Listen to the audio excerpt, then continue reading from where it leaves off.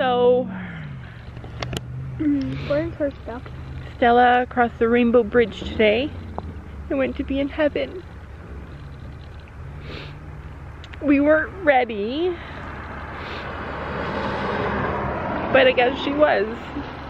God always has a plan.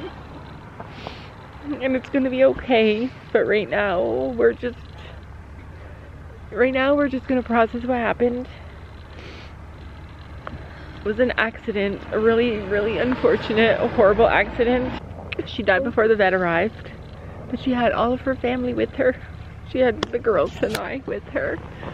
And Brandon came, and Fiona came, and our vet came. It was not a good situation. I don't know if I will ever share, but I want you guys to know You have to give the horse the that, head. yeah, just wait till dad comes home. I just want you guys to know there was an accident.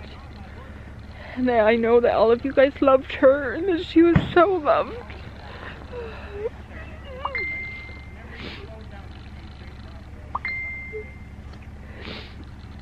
And I thank you for that. I thank you for letting us share her life with you. So I hold out hope to be stronger than forever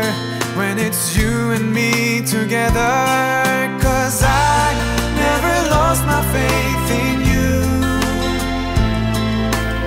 Every time when I felt you would pull me through. Yes, I never lost my faith